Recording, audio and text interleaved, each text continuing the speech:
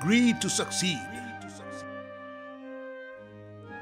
Greed is not a kosher word to many, but greed to succeed is a potent mantra.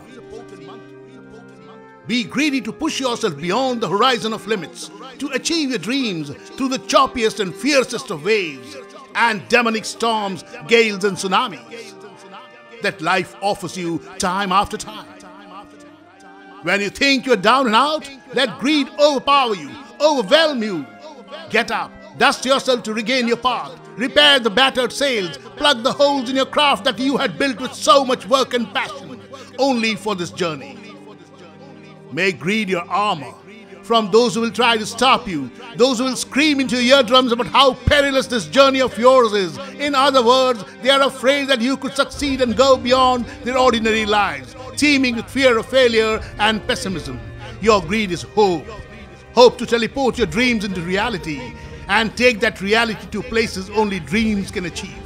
Be greedy to achieve what others have not. Be greedy to jump and sail through matrix impossible and emerge victorious. The horizon is just another mirage seducing you to surpass your expectations. Be greedy and succeed.